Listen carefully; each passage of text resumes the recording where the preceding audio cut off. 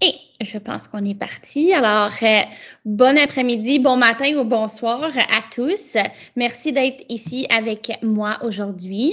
Aujourd'hui, je vais vous présenter trois, trois outils qu'on n'a pas encore vus ou pas beaucoup euh, vus dans l'environnement Microsoft. Donc, euh, aujourd'hui, nous allons couvrir les applications. bonjour à tous, tous les gens qui viennent de rentrer. Bonjour, bonjour et bienvenue. aujourd'hui, nous allons, comme je viens de dire, découvrir des outils de productivité pour inspirer et engager nos élèves. Comme j'ai mentionné, cette session va être enregistrée. Donc, si jamais vous, vous ne pouvez pas assister à l'atelier au complet ou si jamais vous avez des collègues de travail qui sont pas disponibles ce soir ou cet après-midi, euh, vous pouvez partager l'enregistrement avec eux. Euh, vous allez recevoir l'enregistrement par courriel. Vous pouvez simplement le partager avec vos collègues de, travail. Donc, je vais commencer en partageant mon écran avec vous. Si vous avez des questions pendant la session aujourd'hui, n'hésitez pas de les écrire dans le chat. Euh, je vais vous donner un peu de temps pour essayer les, les différents outils, surtout quand on va parler euh, de, du programme Sway. Mais euh, pour la plupart du temps, je vais juste vous présenter les outils. Je vais aller commencer avec le partage de mon écran au complet. Puis, on va parler de euh, comment engager et inspirer nos, jeunes à travers les différents outils ou les divers outils Microsoft. Euh, si vous cherchez à suivre euh, la, présentation aujourd'hui, j'ai mis beaucoup de ressources euh, disponibles pour vous dans ce, lien-là. Donc, c'est vraiment le lien engagé et inspiré. Donc, thecc.page slash engagé et inspiré. Ça, ça va vous amener directement à notre, notre PowerPoint que vous pouvez suivre ensemble avec moi aujourd'hui. Donc, comme je vous l'ai mentionné, euh, c'est, l'atelier va être enregistré, donc vous pouvez toujours le réécouter plus tard. Moi, je suis Alexandra Lemarquand. Euh, je suis formatrice en technologie éducative avec l'équipe chez The Cobblestone Collective. Ça fait quelques années que je travaille avec eux sur la formation technologique. Et avant ça, j'ai travaillé avec Microsoft pendant quatre ans pour la formation pédagogique pour tout le Canada francophone ainsi que le Québec et euh, les provinces maritimes. Donc, je suis vraiment contente d'être ici avec vous euh, aujourd'hui. On, va couvrir beaucoup de différents outils, des, outils que je crois qui vont être engageants et inspirants pour les élèves, aussi des, outils qu'on qu'on n'entend pas souvent parler euh, dans la suite Microsoft. Mais avant de débuter, J'aimerais juste euh, prendre deux secondes pour mentionner que moi, personnellement, je me trouve sur des terres non cédées et je reconnais que je fais ma présentation depuis le territoire des nations Mohawk et Haudenosaunee. donc, c'est leur magnifique terre qui me permet d'enseigner, d'apprendre, d'explorer et de partager avec vous ma passion pour la technologie éducative. Si jamais vous n'avez pas encore visité le site native-land.ca, ça va vous amener à un site où vous, allez pouvoir euh, vous regarder et retrouver la terre sur laquelle vous êtes actuellement situé. Merci, un gros merci au Cobblestone Collective de pouvoir fournir euh, et de créer cette session, cet atelier aujourd'hui. Et aussi un gros merci à Microsoft de, fournir euh, cette session gratuitement à, tout le monde. Donc, euh, moi, je suis vraiment contente de pouvoir travailler avec les deux compagnies. Je suis vraiment, j'adore enseigner la technologie. Donc, merci beaucoup à, nos deux on va dire, des deux sponsors de, la session d'aujourd'hui. Euh, aujourd'hui, nous allons, euh, avant de débuter, nous allons commencer avec euh, notre site web du portal.office.com.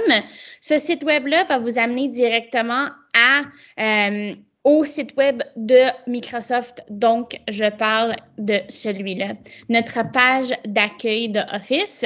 La seule raison pourquoi on va débuter ici aujourd'hui, c'est parce qu'on va pouvoir trouver les trois applications directement à l'intérieur de, de cet environnement, dont Teams, le OneNote et aussi le Class Notebook ainsi que Sway. Donc, si vous cherchez à, me suivre ou de, si vous voulez écouter l'enregistrement, de faire pause pour pouvoir essayer de, essayer les différents outils dont je vais vous parler, je vous suggère fortement d'aller sur office.com et de vous connecter avec votre compte scolaire. Comme ça, vous allez pouvoir euh, essayer et travailler avec moi. Donc, qu'est-ce que nous allons couvrir aujourd'hui? Comme j'ai mentionné, on va vraiment voir trois différents outils. On va regarder premièrement l'application OneNote. Après ça, on va se lancer un peu plus dans un OneNote euh, plus poussée ou plus faite pour la salle de classe, donc qui s'appelle le Class Notebook ou en français le bloc-notes de classe. Et nous allons terminer avec l'outil qui s'appelle Sway. Et Sway, c'est une mode ou un, je veux dire, un, une application, une application qui va nous permettre de faire des présentations en ligne un peu plus intéressantes, peut-être plus engageantes, un peu plus, euh, peu plus euh, le fun, un peu plus stylé que, que les PowerPoint. On a plus d'options de, de style, on a plus d'options d'intégration de multimédia. Donc, je vais vous montrer ou vous présenter euh, le programme Sway à la fin. Je vais vous montrer une présentation que j'ai déjà faite ainsi qu'une présentation que je vais créer avec vous aujourd'hui. Donc, on va débuter vraiment avec le programme OneNote. C'est le même programme, le même nom en anglais et en français. Et OneNote, c'est vraiment un outil qui va nous permettre de, découvrir et engager avec les élèves. Donc, OneNote, c'est vraiment un logiciel de prise de notes numérique qui va vous aider à organiser votre vie et votre travail. J'ai mis les deux ici, votre vie et votre travail, parce que autant euh, le programme OneNote peut être utilisé dans un contexte pédagogique dans les écoles, que ça peut aussi être utilisé euh, dans la vie personnelle. Par exemple, moi, j'ai un cartable OneNote que j'utilise pour garder toutes mes recettes. J'ai aussi un OneNote pour garder toutes mes factures euh, pour les dépenses de, la maison. Donc, pour moi, c'est vraiment, je vois vraiment ça comme un, un cartable, un logiciel de prise de notes. Pour les élèves aussi, ça ne doit pas être utilisé uniquement en salle de classe. Ils peuvent l'utiliser aussi pour organiser leur travail, organiser les différents devoirs et les prises de notes en classe. Donc, plusieurs, euh, plusieurs différentes options d'utilisation du, euh, du programme OneNote. Comme j'ai dit, c'est vraiment un binder ou un classeur numérique. Euh, chaque cartable ou chaque classeur va avoir ici des sections. Dans chaque section, il y a des pages et sur chaque page, il y a des notes. Donc, on voit ici que cette personne-là, ils ont quatre différentes bibliothèques. Donc, quand on voit en dessous de notre nom, il faut vraiment le voir comme notre bibliothèque ou genre une étagère avec plusieurs plusieurs cartables dessus. Fait que cette personne, ils ont module 1, module 2, module 3 et module 4. C'est vraiment quatre cartables complètement différents. Dans, la, dans le premier cartable module 1, bien, on retrouve trois onglets ou trois sections, donc semaine 1, semaine 2 et semaine 3. Et dans la section du semaine 1, on va retrouver ici cinq pages. Donc, lecture, livre, article de journal et peut-être une séminaire. Donc, on a vraiment, il faut vraiment le voir comme un cartable physique, un cartable genre papier ou plastique avec des sections et des pages à l'intérieur. Euh, comment est-ce qu'on crée un cartable OneNote? Bien, j'ai mis ici ouvrir OneNote Windows 10, Windows 10 ou web. Si vous êtes sur Mac, bien, ça sera l'application OneNote sur Mac. Et vous avez l'option de cliquer sur Notebook ou cartable. Et en bas de la page, vous ajoutez un nouvel classeur. Vous choisissez un titre puis vous appuyez sur Créer. je vais vous montrer exactement où on peut retrouver ces étapes-là avant de, vraiment se lancer dans l'organisation.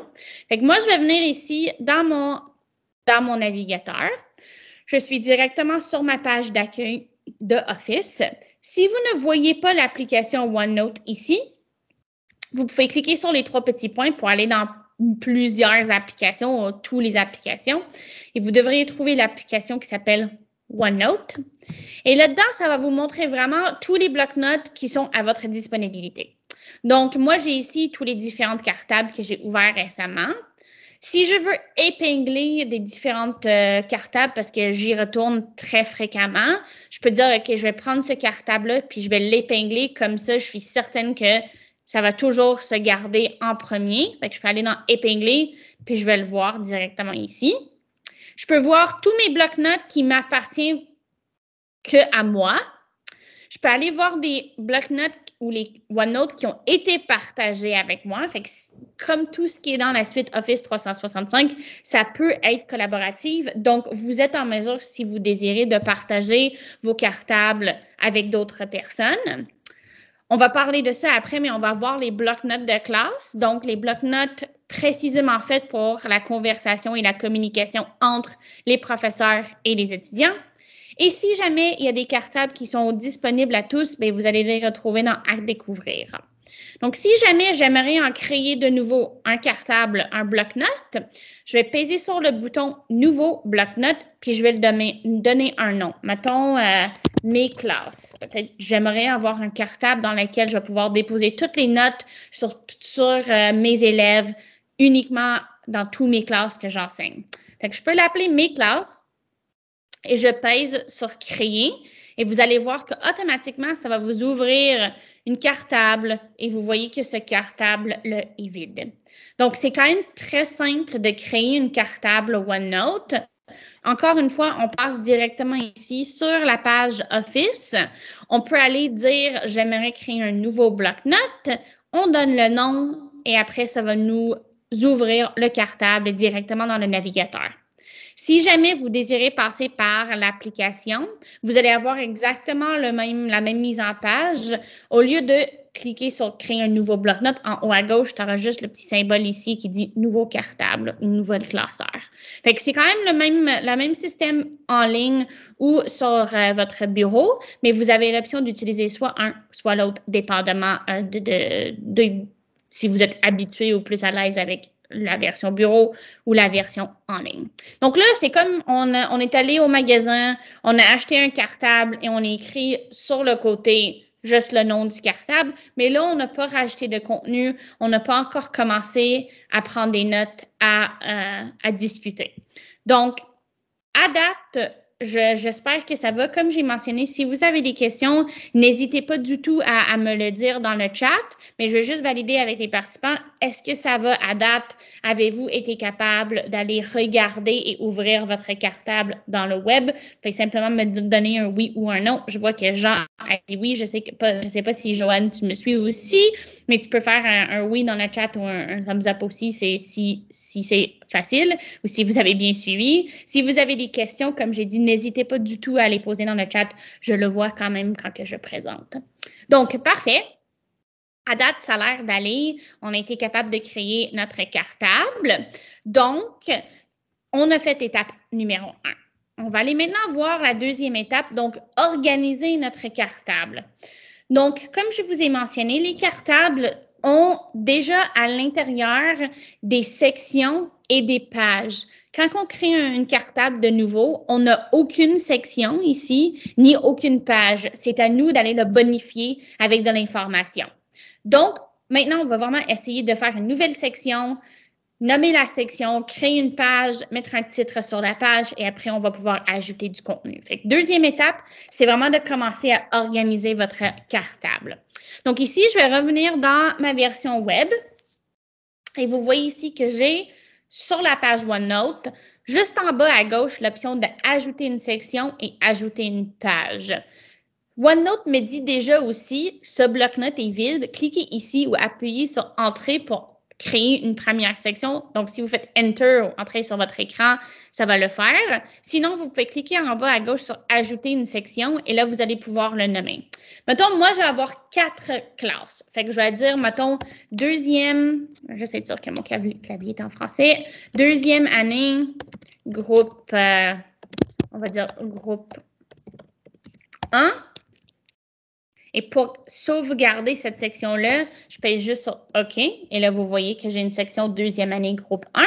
Si je veux rajouter une deuxième section, je vais faire ajouter une section. Je vais dire deuxième année groupe 2. Une troisième section, cette fois-là, j'enseigne troisième année. Groupe 1 et une troisième année groupe 2. Donc, vous pouvez essayer vous-même de rajouter vos propres sections. Voilà. là, j'ai quatre sections qui sont déjà créées. Moi, je viens de les faire. Si jamais je n'aime pas la couleur ou ça tombe que j'ai deux sections qui ont la même couleur, je peux faire une clic droite et je peux aller changer la couleur de la section pour une couleur euh, qui me plaît plus, peut-être. Peut-être que je ne veux pas avoir ce genre de rose, j'aimais avoir peut-être un, un, bleu foncé ou un vert foncé. Vous êtes en mesure de le modifier comme vous voulez. Si jamais ça arrive que vous avez mal écrit le nom ou vous avez fait une faute, vous pouvez faire une clic droite et vous avez aussi l'option de renommer la section ou supprimer la section dépendamment de vos besoins. Et une nouvelle page, bien, ça va créer une page à l'intérieur de cette section-là. Donc, vous pouvez essayer. Allez-y, créer une section. Vous pouvez me dire quand vous l'avez déjà créée. Et si vous voulez créer une page à l'intérieur, vous voyez que chaque section a par défaut une page qui est écrite page sans titre. Pour avoir une page qui a, qui a un titre, vous devez simplement écrire en haut de la ligne qui est affichée sur la page et ça, ça va donner un nom à votre page. Donc, mettons, moi, je peux le dire, ça, c'est le deuxième année groupe 1. Je vais faire une page et dans cette section-là, je vais faire, mettons, les maths. Je vais ajouter une autre page qui s'appelle sciences et une autre page qui s'appelle, euh, je ne sais pas, anglais. OK? Donc, je vais vous donner deux, deux petites minutes. Vous pouvez me dire quand vous avez été capable d'écrire quelque chose là-dedans. OK? Parfait. Donc, ça, c'est super. Vous êtes très capable de le faire. Excellent. Là, à partir de là, je voulais juste vous mentionner qu'est-ce qui est possible de mettre sur la page OneNote. Et après, on va se lancer dans la création d'un cartable pour un, un bloc-notes. Donc, ici, vous avez l'option de rajouter sur vos pages OneNote euh, des balises qui vont vous aider vraiment à organiser le contenu. Vous, allez pouvoir ajouter des entrées manuscrites, donc mettre vraiment euh, du texte écrit ou du texte si vous avez un écran tactile. Vous avez l'option d'inclure des éléments multimédia, donc mettons des vidéos ou euh, des enregistrements audio. Vous avez aussi l'option de bien évidemment capturer, enregistrer des trucs directement sur votre OneNote. Et OneNote va s'intégrer directement avec plusieurs applications Office 365, dont Outlook, vos réunions, Microsoft Teams, OneDrive, audio et vidéo. Donc, ça, c'est la base de OneNote. C'est vraiment un environnement d'organisation et de, notes. Moi, je vais vous montrer vraiment plus le contexte avec une classe notebook, donc une bloc-notes que vous pouvez utiliser avec vos élèves. Donc, et ça, je vais prendre le temps de vous montrer toutes les différentes options que vous avez à inclure sur votre page de OneNote. Donc, on a compris un peu la structure d'une cartable. On voit que par défaut, il n'est pas partagé avec personne. C'est vraiment un espace pour vous où vous pouvez écrire vos propres notes et organiser votre cartable comme vous voulez. Mais si vous cherchez un environnement où vous êtes en mesure de collaborer avec les élèves, avec les étudiants, bien, voilà le bloc-notes de classe qui est directement intégré dans Teams. Alors, par défaut, vous avez vu que notre cartable OneNote a aucun contenu. Il, fallait, il a fallu que nous, on rajoute tout. Ici, vous allez voir que vous allez avoir quatre espaces qui sont déjà réservés pour vous par rapport à votre cartable. Donc, contraire au bloc-notes OneNote personnel, ici, vous allez avoir quatre sections pré-programmées pour vous. Donc, on va avoir un espace de collaboration où tout le monde va pouvoir collaborer ensemble. On va pouvoir avoir un une bibliothèque de contenu. Ça, ça va vous permettre comme prof de déposer du contenu et après, les élèves peuvent aller le consulter sans vraiment le modifier. Vous allez avoir une nouvelle section ici où c'est une section qui est uniquement réservée à l'enseignant. Donc, c'est une super place pour prendre des notes euh, ou pour faire des évaluations avec les élèves. Et la dernière section, c'est bien évidemment un bloc-notes pour chaque élève. Donc, moi, je vais passer sur mon application Teams pour vous montrer comment créer une cartable avec les élèves. Donc, si vous cherchez l'application Teams, encore une fois, ça devrait être dans votre barre à gauche. Quand vous l'ouvrez, ben, vous allez voir que vous êtes déplacé dans l'environnement Teams. Moi, pour X raison, ça se bascule toujours en anglais. Fait que je vais aller le remettre en français à chaque fois. Je dois le faire. Si c'est le même cas pour vous, ben, dans les trois petits points, vous êtes en mesure d'aller changer les langues ou la langue d'affichage. Donc, je vais juste démarrer mon Teams en français. Et bien évidemment, pour avoir l'option de bloc-notes ou de OneNote avec les étudiants, il faut utiliser la version de Teams qui est une salle de classe. J'imagine que vous le connaissez déjà, mais dans un Teams, vous avez quatre différents modèles. Donc, une Teams, une équipe pour une classe, un Teams pour une communauté d'apprentissage, un Teams pour du personnel, puis un Teams pour autre. Il faut absolument être dans la version classe pour pouvoir voir les options du bloc-notes. Si vous choisissez autre format de Teams, vous ne le verrez pas. Donc, moi, je suis dans euh, mon Teams pour ma deuxième année, groupe 1. Et là, je suis dans le canal général. Et là, vous voyez que j'ai la bloc-notes pour la classe et j'ai même ici l'option de configurer le bloc-notes pour ma classe. Ça, c'est mon OneNote d'équipe. Celui-là, je vais le choisir, configurer la bloc-notes pour les salles de classe. Et à partir de là, je devrais être en mesure de le créer ou de créer mon environnement OneNote. Donc ici, je vais peser le bouton. J'ai une option de partir avec un bloc-notes qui est vide, donc une cartable que j'ai jamais créée avant. Si j'ai un cartable que j'ai déjà utilisé avec des étudiants l'année passée, puis j'ai bien aimé euh, ce bloc-notes-là, je peux le, réutiliser. Dans ce cas-là, je ne vais pas le faire. Je vais commencer à partir de zéro. Et comme vous voyez, j'ai les quatre sections. L'espace de collaboration où les élèves que, peuvent travailler en même temps que moi. J'ai une bibliothèque de contenu où moi, je peux publier mes documents de cours et que les élèves peuvent uniquement aller euh, afficher. J'ai ici la section réservée que pour moi et j'ai une bloc-notes pour chaque élève dont où l'élève peut aller travailler. Mais juste pour que vous soyez sûr, autres élèves ne sont pas en mesure d'afficher les bloc-notes de, leur, de leurs amis. Fait que dans votre salle de classe, comme prof, vous voyez à travers vraiment tout. Les étudiants voient que leur propre espace privé et ils ne voient pas dans, les espaces des autres, mais comme prof, vous voyez à travers tout le monde. Donc, voici les quatre sections. Je vais faire suivant. Par défaut, euh, le OneNote va vous suggérer ces idées-là, donc document, notes de cours, travail à domicile et questionnaire. Si vous ne désirez pas garder ces sections-là, vous pouvez complètement les supprimer. Mettons, je ne veux pas une section qui s'appelle travail à domicile ni questionnaire.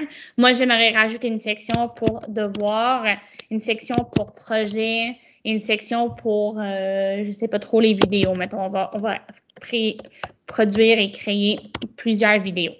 Alors, n'oubliez pas que vous ne les créez pas dans le bloc-notes à grandeur, à large. Là. Vous créez vraiment les sections pour chaque élève.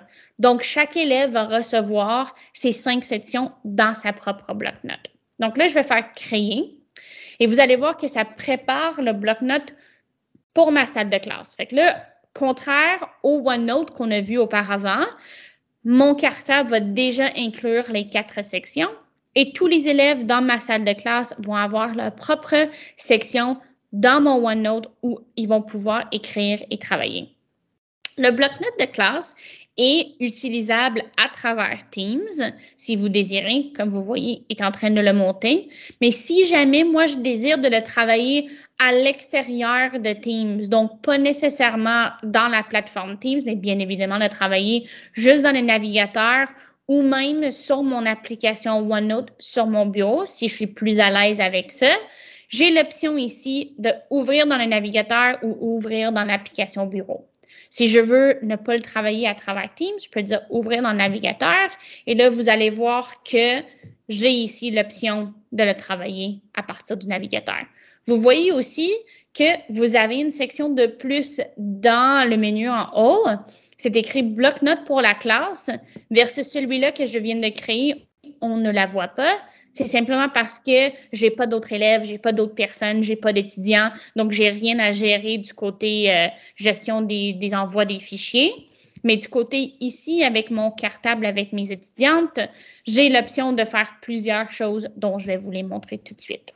Alors, vous voyez ici votre bibliothèque de contenu, un espace pour vous uniquement où il n'y a personne qui peut le regarder, un espace de collaboration où vraiment tout le monde peut travailler, puis j'ai mes cinq élèves.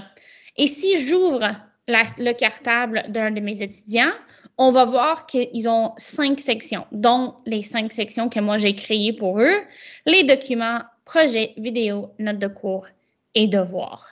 Donc, c'est vraiment, il faut vraiment imaginer que votre OneNote, votre cartable pour la salle de classe, c'est vraiment comme si vous, vous avez votre cartable de prof et intégré avec ça, vous avez comme un duotime ou un cartable pour chaque élève. Donc, l'élève peut travailler en confiance complètement. Il n'y a personne d'autre à part vous qui peuvent aller travailler dans leur cartable, mais au moins c'est hébergé dans l'équipe. Ils ne doivent pas créer un cartable à chaque fois qu'ils veulent prendre des notes ou à chaque fois qu'ils veulent travailler un projet. Ils sont vraiment en mesure d'aller le travailler ensemble dans votre cartable qui est géré par vous. Ça, c'est quelque chose qui est quand même génial et j'adore le fait qu'il est directement intégré dans Teams. Ça veut dire qu'on peut faire des liens vers des pages, on peut donner une page de, classe notebook, de notre bloc-notes directement comme devoir. C'est vraiment génial qui est bien intégré dans la plateforme. Donc, je suis sur mon cartable, j'ai ici ma deuxième année avec groupe 1, j'ai toutes mes sections et j'ai les sections des élèves. Donc, comment est-ce que moi, comme prof, je vais pouvoir utiliser mon cartable? Soit je peux aller publier du contenu dans la bibliothèque de contenu. Mettons que j'enseigne, comme j'ai dit, c'est les deuxièmes années, j'aimerais avoir une section pour mathématiques, mais ben, je peux aller dire, j'aimerais créer dans, dans la bibliothèque de contenu une section qui s'appelle maths ou anglais ou sciences ou français comme je veux et je peux directement la déposer dans la section bibliothèque du contenu. Comme ça, je sais que ça va être affichable par tous. Si je veux aussi créer des sections dans l'enseignement uniquement, je peux cliquer là-dessus, créer une section pour notes et évaluation. Et là, je suis certaine que vu que ça se retrouve dans la section enseignant unique, les élèves ne sont pas en mesure d'aller voir la section notes et évaluation. Si je veux créer, mettons, une section anglais, une section français, je suis en mesure de le faire directement dans la section bibliothèque. Comme vous voyez, vous pouvez glisser et me déposer des sections où vous voulez. Si jamais vous voulez le supprimer, encore une fois, clic droite, supprimer la section et là, il n'y a personne qui va pouvoir aller le voir et je peux rajouter dans la bonne section maths. Donc, la bibliothèque de contenu, les élèves sont en mesure d'aller le regarder, mais ils ne peuvent jamais le travailler. Donc, si je dis à mes élèves, viens dans la section anglais, puis sur le travail du 2 décembre, J'aimerais que vous écrivez. Ils ne sont jamais capables. Ils n'ont pas le droit de le travailler dans la bibliothèque de contenu. C'est vraiment un espace de ressources et de références pour les élèves. Par contre, si je dépose la même section dans l'espace de collaboration, vu que tout le monde peut travailler ici, l'espace de collaboration est un environnement où tous mes élèves vont pouvoir travailler. si je mets la même section anglais dans l'espace de collaboration, maintenant, j'ai tous mes élèves qui sont en mesure de venir travailler ensemble. Fait une super euh, belle façon où vous voulez déposer des foires aux questions, où vous voulez faire du brainstorming, vous voulez faire des travaux d'équipe. C'est vraiment un bel espace pour faire euh, du travail d'équipe dans cet espace de collaboration. Donc, à date, est-ce qu'il y a des petites questions par rapport au bloc-notes pour la salle de classe? Sinon, je vais vous montrer comment créer un devoir, comment l'envoyer à travers la plateforme euh, du cartable OneNote pour la salle de classe. On va voir s'il y a des questions. OK, Joanne dit que c'est beau. Parfait. Ça, je vais vous montrer comment créer vraiment un devoir puis la déposer soit à travers le Class Notebook ou à travers l'option de, de devoir directement dans Teams. Donc, je reviens ici à mon cartable qui est en ligne. J'ai mon OneNote. Là, je suis prête à créer un genre de, travail individuel, un genre de, feuille de travail que j'aimerais envoyer, utiliser avec mes élèves. je vais venir dans la section maths, mettons. Et je vais créer une section, une page qui s'appelle devoir euh, numéro 1.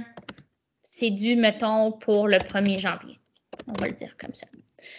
Alors, vous voyez que la page porte maintenant le nom que je viens d'écrire et là, je peux commencer à rajouter de l'information sur la page.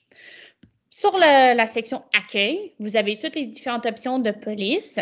Vous avez l'option de rajouter du texte gras, des, lettres surlignées, etc.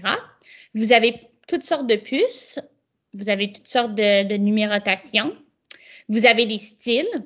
Ça, c'est quand même très pratique. Si j'aimerais être sûr que c'est un titre que je vais écrire ici, mettons euh, les étapes à compléter. Voilà. Ça, c'est des styles. Par défaut, c'est ici un titre et après, ça va retomber avec juste du texte. J'ai des balises. Moi, je trouve ça super. Surtout la balise à faire. Ça me permet de créer une genre de checklist ou une liste que les élèves peuvent suivre pour être sûr qu'ils ont bien complété leur travail. Donc, si je fais à faire, vous allez voir que j'ai comme une boîte et je peux dire, mettons, étape 1. Si je fais Enter, je peux voir que ça me met automatiquement un deuxième, étape 2, étape 3 et étape 4. Si j'aimerais rentrer entre les œufs, je peux créer des espaces entre, juste pour que ça soit plus facile pour les élèves de se situer. Donc, les balises, moi, je trouve ça très pratique. On peut dire que c'est quelque chose à faire, quelque chose qui est important, une question. On peut mettre, mettons, un film à revoir. Si j'aimerais dire, que ça, ça concerne le projet A ou le projet B, on peut l'inclure. Vous en avez vraiment très, beaucoup de différentes options de balises. Moi, j'aimerais utiliser ces étapes 1, 2, 3, 4. Donc, mettons, étape 1, c'est de regarder la vidéo euh, sur cette page. Étape 2, ça va être répondre aux questions. Numéro 3, ça va être de dessiner euh, votre réponse. Et le quatrième, ça va être compléter le forms, mettons. Donc, ça, c'est les quatre étapes. Fait que je vais vous montrer comment vous pouvez faire chaque différente étape ici. Vous avez dans, euh, encore l'option accueil, si jamais vous êtes une personne qui aime bien dicter, vous êtes en mesure de dicter à voix haute les instructions. Donc, si vous n'aimez pas écrire à la main, ou si les élèves ont de la difficulté à écrire, une difficulté physique qui ne les permet pas d'écrire sur un clavier, ils peuvent venir ici, cliquer sur la petite dictée, être sûr que vous avez bien choisi la langue et vous pesez sur dictée. Ça va vous demander est-ce que je peux utiliser mon micro? Vous dites oui. Et là, ça va commencer à vraiment écrire sur la page tout ce que vous dites à voix haute. Et voilà. Fait que si jamais vous aimez ce dictée vocale, c'est très pratique. Il est directement intégré dans le OneNote, autant en ligne que sur, euh, que sur la version bureau. Donc, les étapes ici, première étape, c'est regarder une vidéo sur cette page. Fait que là, je vais aller ajouter la vidéo. Vous allez voir qu'ici, j'ai une option insertion.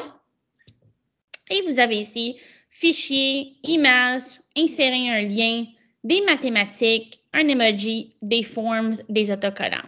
Moi, techniquement, ça va être une vidéo que je vais aller trouver sur YouTube, mettons, et je vais simplement insérer le lien. Fait que, mettons, je vais faire YouTube Khan Academy. Je vais faire des fractions. Donc, je vais prendre n'importe quelle vidéo. Mettons celui-là. On sent, c'est pas très grave. Je vais prendre cette vidéo-là, puis je vais simplement juste copier le lien. Je vais revenir sur ma page OneNote et si je fais insérer un lien, je peux faire l'adresse et je dire vidéo Academy.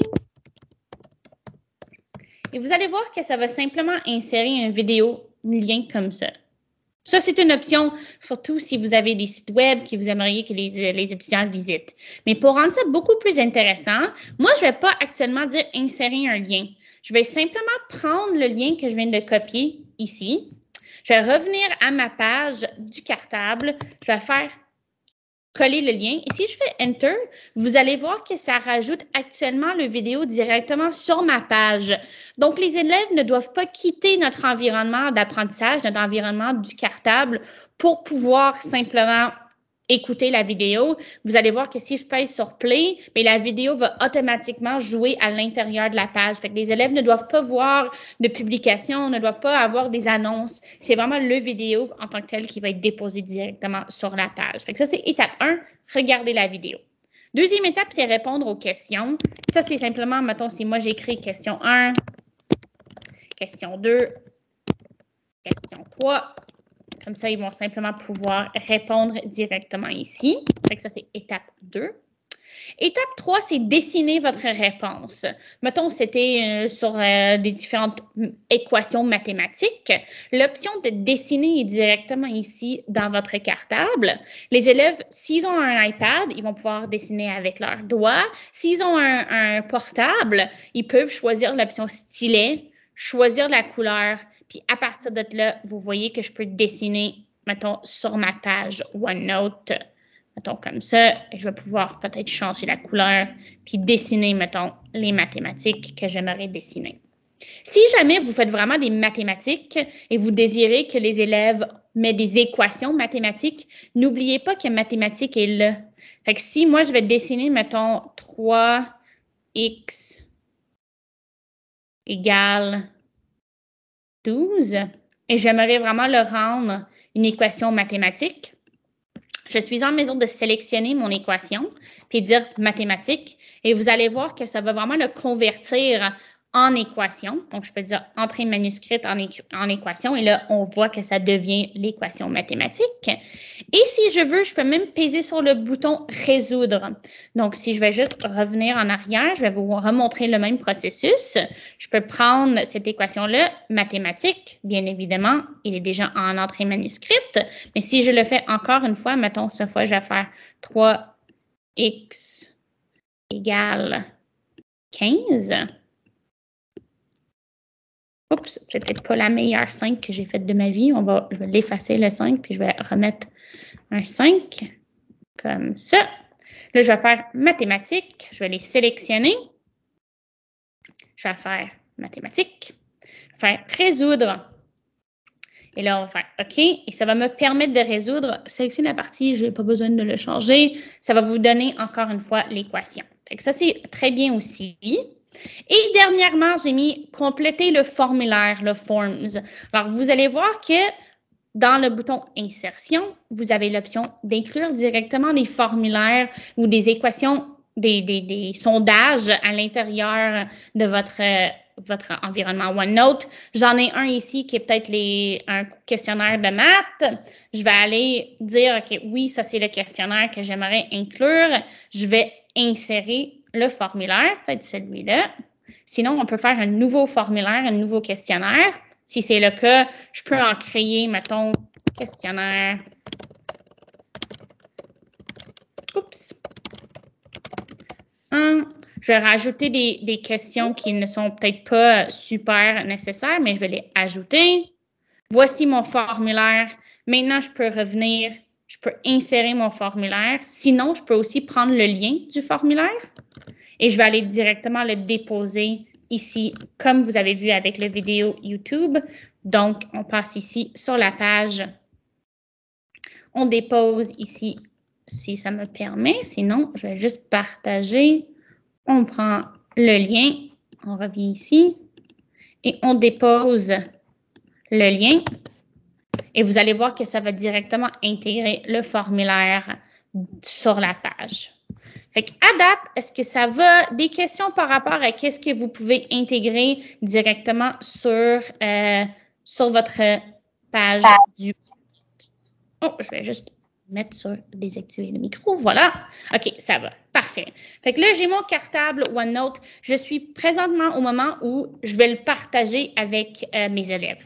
Donc, je vais passer ici sur la section bloc-notes pour la classe et vous allez voir ici que j'ai l'option de distribuer une page. Donc, je peux peser sur distribuer une page et je vais faire distribution individuelle, ça veut dire à une personne, distribution de groupe, ça va être à plusieurs personnes, ou distribution entre blocs-notes. Fait que si j'ai plusieurs élèves ou plusieurs classes dans plusieurs cartables, je suis en mesure de l'envoyer à plusieurs écoles. Moi, je vais juste dire une page. Et là, ça va me demander où est-ce que tu veux l'envoyer? Où exactement est-ce que tu veux déposer cette page-là chez les élèves? Donc, moi, je vais la mettre dans la section Devoirs. Je vais faire Distribuer. Comme ça, le bloc-notes va vraiment envoyer, il va faire un genre de photocopie virtuelle dans le cartable de chaque élève. Donc, ça va faire un devoir numéro un pour le 1er janvier dans la section devoirs de chaque élève. Donc, maintenant, Omar, dans sa section euh, devoir, il va retrouver la page qui s'appelle devoir numéro 1, janvier. Coulter, lui aussi, dans sa section devoir, il va retrouver ici devoir numéro 1, janvier. Fait que si je regarde Amar et je paye sur son devoir, on va voir où est-ce que Amar en est avec ses devoirs. Fait que la distribution de pages est quand même très bien faite. Fait que là, pourquoi est-ce que j'ai dû le distribuer? Vu que c'est dans la section bibliothèque du contenu, les élèves ne peuvent pas le modifier. Ils peuvent uniquement utiliser cette page-là comme référence. Mais vu que j'ai fait un envoi, une copie chez chaque élève, maintenant, Amar, lui, il peut rentrer dans ses devoirs. Il va aller sur sa page, puis il va dire, OK, j'ai fait étape 1, j'ai fait étape 2 et j'ai fait étape 4. Peut-être que Coulter, lui, va le travailler, puis lui, il va commencer avec étape 4 et étape 3. Fait que lui-même, il va pouvoir travailler ses devoirs dans sa propre section à lui.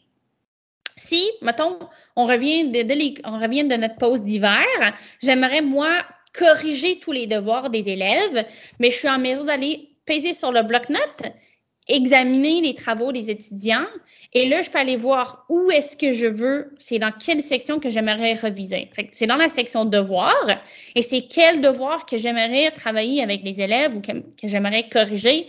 C'est le devoir numéro un. Et c'est pour qui? Ben là, je peux dire, OK, je vais aller corriger celle de Amar. Fait que là, vous allez voir que la page m'amène au devoir de Amar. Si je m'en vais sur Mario, mais là, ça va m'amener vraiment sur le devoir de Mario, où vous voyez que lui, il n'a même pas du tout commencé son devoir. Si je m'en vais regarder celui-là de Coulter, mais on voit qu'il a fait deux étapes sur quatre. Donc, c'est vraiment une façon ultra simple de corriger. Mettons, je vais corriger celle de Amar. Ici, j'aimerais lui donner mes commentaires. Puis je sais qu'Amar, c'est un apprenant plutôt auditif. Je vais venir ici, je vais faire insertion et vous voyez que je peux mettre un petit clip audio. Fait que je vais dire audio. Salut Amar, merci beaucoup d'avoir complété ton travail pendant les temps des fêtes. Je vois que tu as complété trois sur quatre étapes. Quand vous revenez des vacances, on va vraiment examiner l'étape 3 qui a manqué, donc dessiner votre compréhension. Là, j'ai mon enregistrement audio pour Amor. Et là, je dis, mais je veux pas qu'il vienne supprimer. Si j'ai mis sa note, je veux plus qu'il ait le droit de modifier la page. Vous pouvez verrouiller la page. Comme ça, pour Amor, cette page-là n'est plus modifiable même par l'étudiant. Donc, c'est bloc-notes pour la classe, c'est vraiment une façon de pousser, de corriger, de regarder les devoirs dans une façon qui est beaucoup plus engageant, beaucoup plus inspirant, beaucoup plus euh, je dirais, euh, beaucoup plus multimédia parce qu'on peut vraiment inclure plein de différentes options sur la même page. Dont la bloc-notes pour classe, c'est vraiment une belle façon d'aider les élèves à s'organiser et de vraiment avoir tous leurs travaux, tous leurs devoirs, tous leurs notes de classe dans un seul endroit. Donc, avant que je me lance pour les dernières 15 minutes dans la petite présentation par rapport au Sway, est-ce qu'il y a des questions concernant le Class Notebook ou le bloc-notes pour classe? Ou est-ce que c'est quelque chose qui est assez clair? Est-ce qu'il y a des questions où ça va? Jean dit que ça va, c'est parfait. Joanne aussi. Excellent. Donc, là, pour la dernière petite section par rapport à notre atelier aujourd'hui, moi, je vais me lancer directement dans la plateforme qui s'appelle Sway. Sway, c'est vraiment un outil qui est euh, un genre d'outil de présentation euh, mais un peu plus interactif, un peu plus le fun que du PowerPoint. Il y a vraiment encore une intégration plus du côté multimédia et ça nous permet d'avoir plus d'expression créative, de démontrer notre créativité à travers les présentations. Nous, personnellement, je pense qu'un prof, on est un peu tanné de regarder des PowerPoint et une présentation SWI nous permet de regarder les présentations de façon peut-être plus intéressante ou même juste changer la mise en page d'une présentation, ça peut nous aider. Donc, quand on va créer des souhaits, on va avoir deux sections qu'on peut regarder. On va avoir une section qui est le récit. Donc, c'est là que vous planifiez votre présentation et vous ajoutez du contenu. Et vous avez le volet qui est conception, où vous voyez la présentation que vous êtes en train de, construire. Fait que sur la page, à gauche, tu vas voir récit et à côté, tu vas voir conception. Tu peux regarder entre les deux la différence du côté construction versus le côté présentation qui est là. Chaque soin peut intégrer des sections, des titres, des images, des vidéos, des enregistrements audio et des groupes. Donc, je vais vous montrer sous peu une genre d'idée de, présentation. Donc, dans le récit, vous, vous, vous, rajoutez vraiment le contenu. Vous ne voyez pas une présentation qui est belle. C'est absolument pas du tout ça. C'est vraiment juste un environnement de construction. Et du côté conception, vous voyez à quoi ça va avoir l'air votre présentation. Vous pouvez décider si vous voulez que votre présentation défile verticale, défile horizontale ou défile plus comme des diapositives ou des pages. Et c'est ici que vous pouvez personnaliser euh, votre Sway pour choisir les couleurs, etc. Alors, pourquoi Sway et pourquoi pas un PowerPoint? Mais on s'entend qu'avec avec PowerPoint, il faut vraiment aller, il faut vraiment aller faire toute la mise en page de notre présentation. Sway prend vraiment soin du côté design, du côté mise en page et ça nous permet vraiment de mettre notre accent ou mettre l'emphase directement sur le contenu. Alors, moi, j'en ai écrit un pour vous aujourd'hui qui est comme juste une, qui est sur le Canada à la base. Moi, j'ai vraiment rajouté que des sections et des, euh, des, images avec un peu de texte et ça m'a sorti une présentation qui a déjà l'air de ça. Fait que j'ai mis une image par province avec un peu de texte. Vous allez voir qu'est-ce que j'ai fait euh, dans le côté récit, mais du côté conception, j'ai fait zéro travail à date. Ça m'a juste donné automatiquement ce genre de présentation-là. Comment est-ce qu'on crée un sway? Vous pouvez soit encore passer par votre page d'accueil, allez sur toutes les applications et vous allez voir Sway qui est juste là. Vous pouvez commencer un nouveau Sway complètement vide ou vous pouvez aussi accéder à la page qui est sway.office.com et le sway.office.com, ça va vous donner plein de différentes options de modèles, etc. Moi, j'ai l'habitude directement de passer par mon Office 365 pesez sur un nouveau suivi vierge et là, ça va vous amener ici. Donc, je vous donne un petit deux minutes pour essayer d'aller sur le sur Sway. Donc, soit à travers votre plateforme Office 365 ou soit à travers le sway.office.com et vous pouvez simplement me dire quand vous êtes sur la même page que moi. Donc, page d'accueil Office avec le, le lien Sway ou sway.office.com.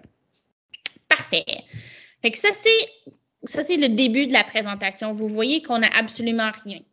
Moi, je vais rajouter un, titre. Vous pouvez le choisir aussi. Mettons, moi, je vais faire euh, l'hiver. Je donne un nom.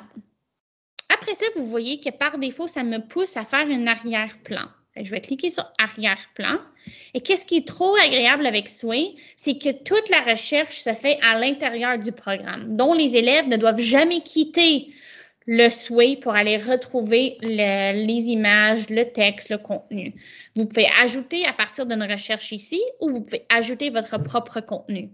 Vous voyez que vu que j'ai écrit l'hiver ici, ça me suggère ici dans ma suggestion de recherche l'hiver. Si je pèse sur l'hiver, ça va automatiquement me donner des images liées à l'hiver.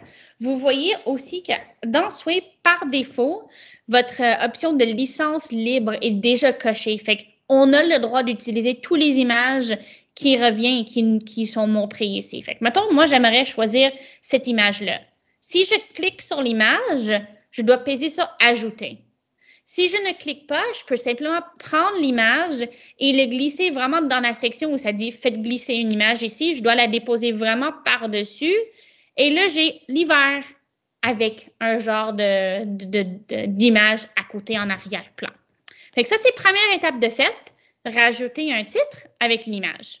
Là, j'aimerais continuer d'ajouter des choses à ma présentation. Donc, bien évidemment, on paye sur le petit plus et là, vous allez voir que vous avez plusieurs options.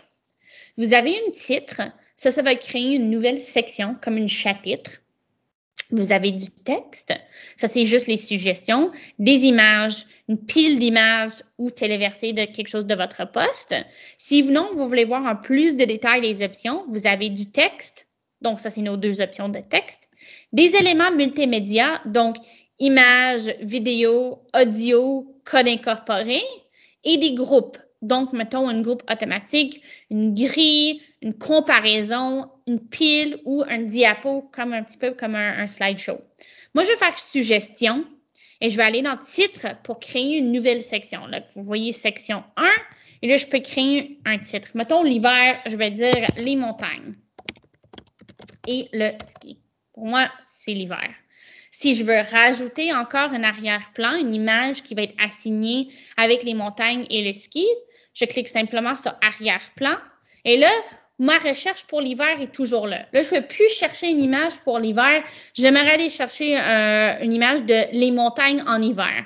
Donc, si je fais le X, ça va complètement supprimer ma recherche. Mais vous voyez ici que j'ai montagne, ski, les montagnes et le ski. Parce que le système allume le titre et ça va me suggérer. Fait pour les élèves, pour qu'ils ne se perdent pas ou perdent pas de temps, soyez vraiment fait pour les aider à construire une présentation le plus vite, mais vraiment en mettant l'accent sur le contenu. Fait que, mettons, montagne.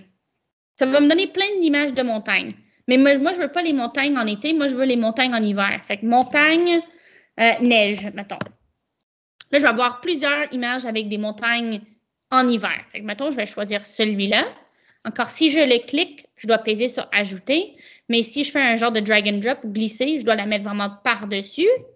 Et là, j'ai une image liée à les montagnes et le ski. Maintenant, j'aimerais rajouter du texte. J'aimerais ajouter, mettons, une de mes activités préférées, c'est d'aller faire du ski. Si je fais le plus, je dois garder dans la section, je fais le plus juste en dessous du titre. Là, je vais avoir du texte et ça me permet d'écrire. Mettons, j'adore faire du ski pendant l'hiver. Voilà, ça c'est ma petite texte. Si je veux rajouter plusieurs plus d'informations, je peux rajouter des puces, acheter des numéros. Si j'aimerais que cette tuile dans ma présentation soit plus large, je peux la définir comme plus large et là, vous voyez que mon texte est devenu un peu plus large. Donc, à date, j'ai écrit un titre, j'ai rajouté une image, j'ai pesé sur le plus et j'ai rajouté un nouvel titre, donc pour me créer une nouvelle section. Et dans cette section-là, j'ai rajouté du texte, donc j'adore faire du ski pendant l'hiver. Si j'aimerais rajouter plusieurs images à ma présentation, je peux peser sur le plus.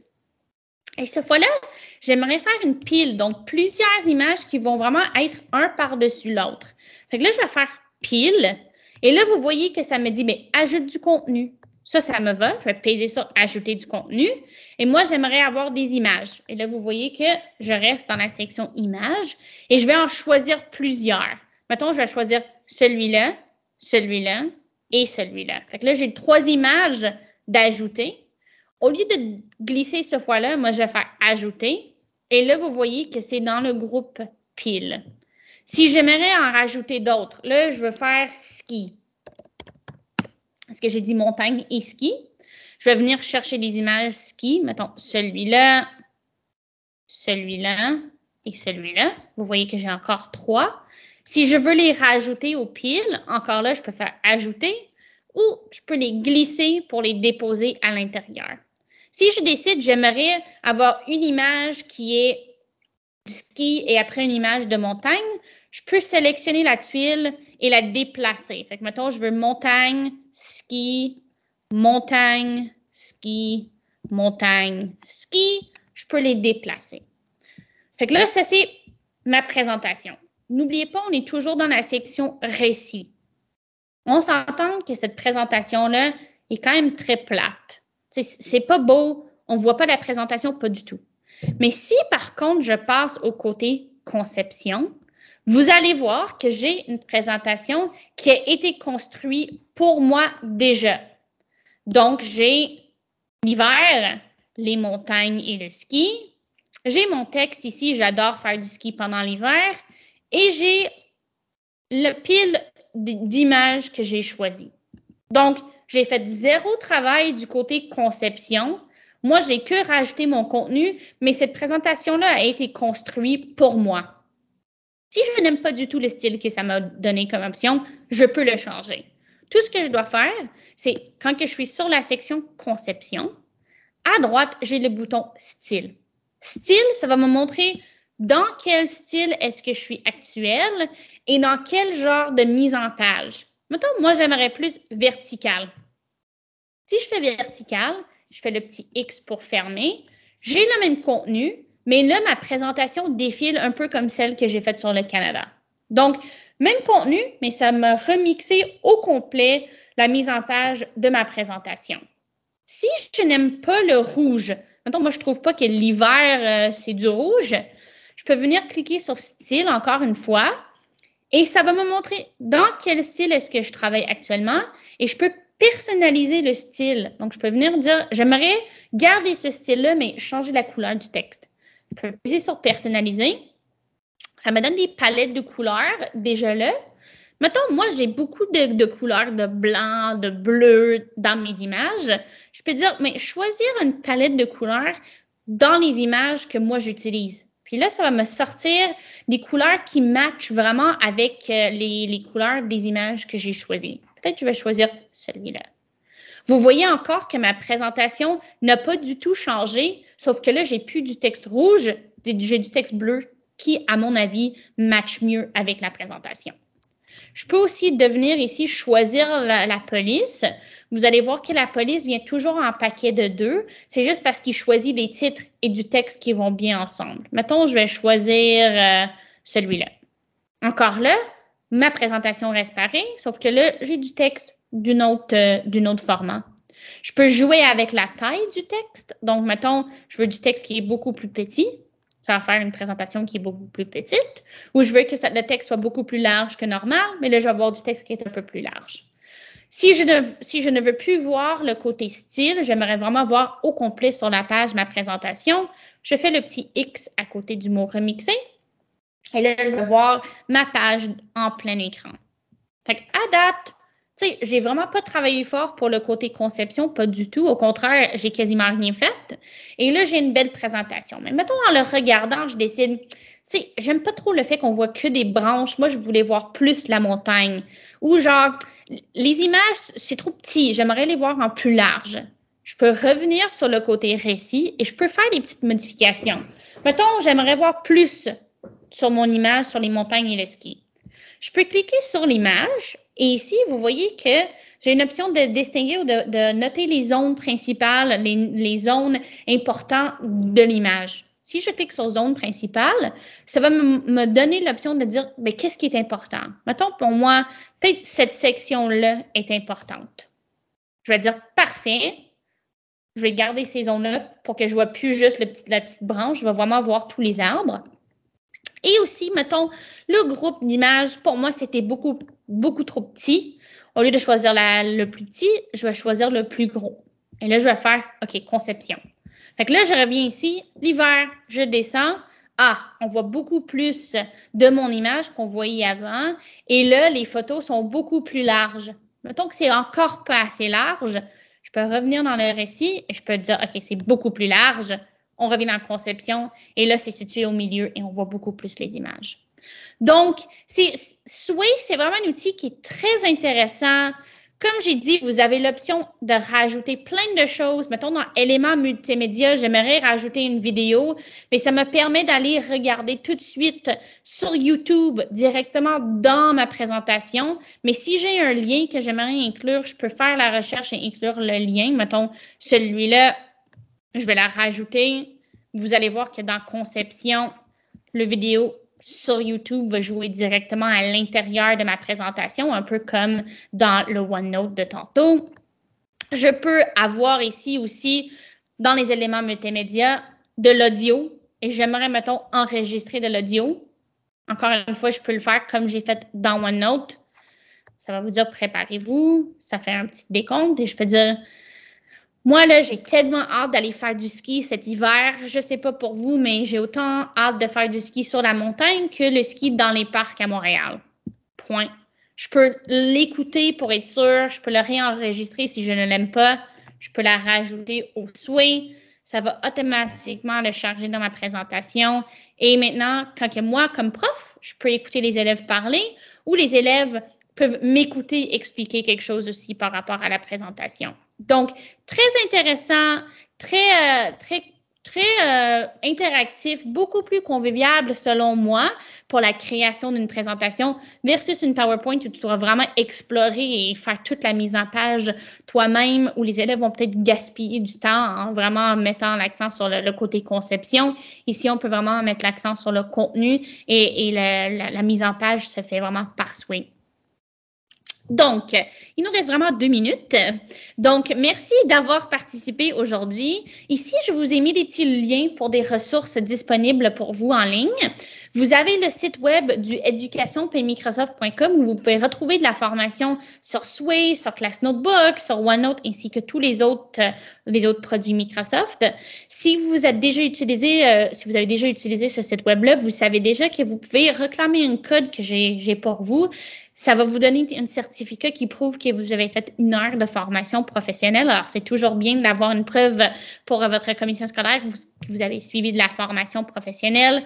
Vous devez simplement rentrer sur ce site web-là, vous connecter avec votre compte de l'école et en haut à droite, vous avez l'option de, de réclamer une code, dont celui-là. Et si vous cherchez de l'aide on est toujours là pour vous avec euh, le courriel help at cobblestonecollective.ca. On, va vous répondre. On est vraiment des gens derrière euh, cette adresse courriel-là. Vous pouvez toujours nous écrire. On va vraiment vous répondre. Et vous avez aussi toujours le lien vers ma présentation ici où vous avez tous les liens, tous les codes ainsi que notre courriel si vous cherchez de l'aide. Alors, on est vraiment à 4h30 pile. Je vais arrêter l'enregistrement, mais si vous avez encore des questions, n'hésitez pas de les poser dans le chat ou les poser à vive. Ça ne me dérange pas du tout de, vous répondre ici. Mais sinon, merci beaucoup euh, d'avoir participé aujourd'hui. J'espère que vous avez appris quelque chose et on se revoit peut-être euh, bientôt dans une autre formation.